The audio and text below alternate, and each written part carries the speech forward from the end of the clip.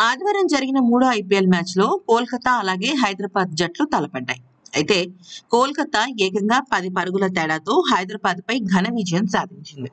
ఇక మ్యాచ్ విషయంలోకి వచ్చినట్టయితే హరిభజన్ సింగ్ భారత జట్టుకి ఒక అద్భుతమైన హాఫ్ స్పిన్నర్. నిజం చెప్పాలి అంటే హరిభజన్ సింగ్ ఏ జట్టులో ఉంటే ఆ జట్టుకు స్పిన్ విభాగంలో ఒక అదనపు బలం చేకూరినట్టే.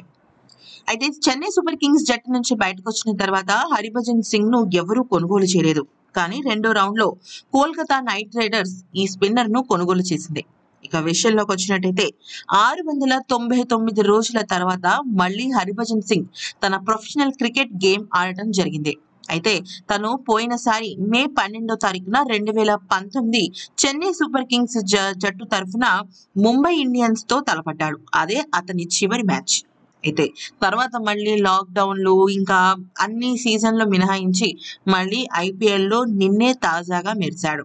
ఇక కోల్కతా నైట్ రైడర్స్ మొదటగా ఇన్నింగ్స్ పూర్తి చేసిన తర్వాత హైదరాబాద్ జట్టు ఇన్నింగ్స్ వచ్చినప్పుడు వృద్ధమాన్ సాహా అలాగే డేవిడ్ వార్నర్ ఇద్దరు కూడా ఓపెనర్స్గా వచ్చారు.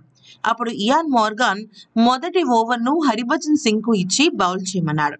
అయితే ఇక్కడే చాలా పెద్ద ట్విస్ట్ జరిగిందని చెప్పుకోవాలి.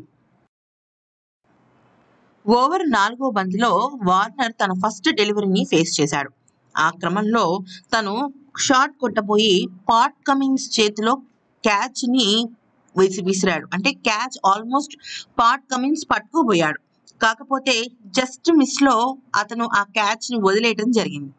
ఒకవేళ కనుక తన గనక పట్టుకుని ఉండుంటే హరిభజన్ సింగ్ తన ఫస్ట్ ఓవర్లోనే ఫస్ట్ వికెట్ను పడగొట్టి ఒక ఇన్నింగ్స్ను క్రియేట్ చేసేవాడు. అయినప్పటికీ కూడా డేవిడ్ వార్నర్ ఆ షాట్ విషయంలో చాలా భయపడ్డాడు.